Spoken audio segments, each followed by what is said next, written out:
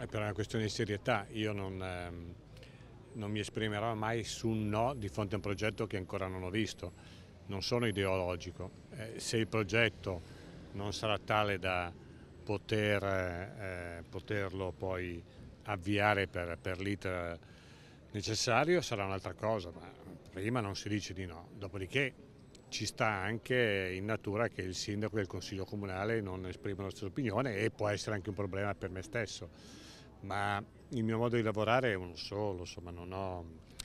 mi sono candidato eh, per fare le cose e cerco di farle. Quando poi ci sono buoni motivi, ma devono essere buoni motivi per non farle, allora ne prendo atto.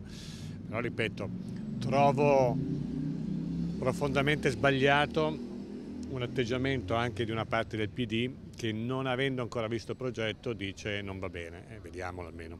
Però Fontana ieri ha detto il Milan ha presentato il progetto. Quindi... No, non è così, non è così. Il Milan ha nella, ha nella, nella documentazione che anch'io ho più o meno visto ha una serie di, di ipotesi, credo 6, 7, una cosa del genere, quindi non è, non è così. Ha fatto, Fontana ha fatto una semplificazione, in realtà il progetto va presentato e non su uno schizzo, per cui ci sono impegnati a farlo in un paio di settimane. Un paio di settimane in cui torneranno con un rendering che sarà un po' più... Sì, con metrature, cosa ci vogliono fare, cosa per esempio è chiaro che per me è una cosa decisiva, è ehm, quanto verde rimane e che, che, tipo di parco si può creare. Ora, pensate a, quanche, a quante domande, che tipo di parco, quanti ettari, pubblico, chi lo gestisce, per cui queste sono le cose su cui bisognerà confrontarci.